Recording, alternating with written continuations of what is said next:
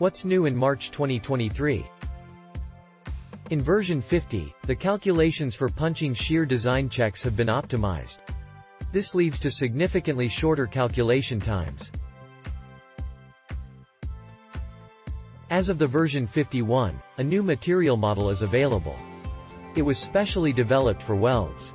It allows for a plastic calculation of all stress components of welds, which is thus more efficient.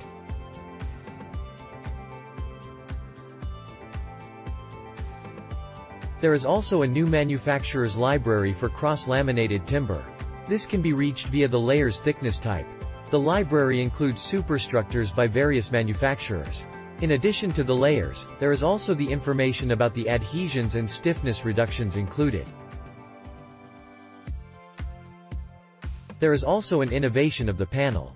The old function that automatically completes the values between the extreme values has been implemented again in the program.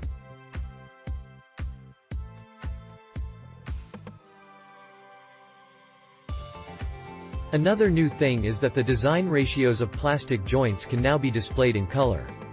Due to the introduction of this feature, it is also possible to display the acceptance criteria. As always, all planned and implemented features are listed in the extranet.